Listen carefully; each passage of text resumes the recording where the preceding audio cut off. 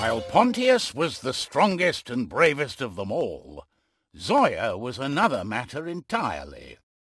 Zoya relied on her bow and her grappling hook to keep her distance. Zoya had been a thief long before circumstances had made her a reluctant hero.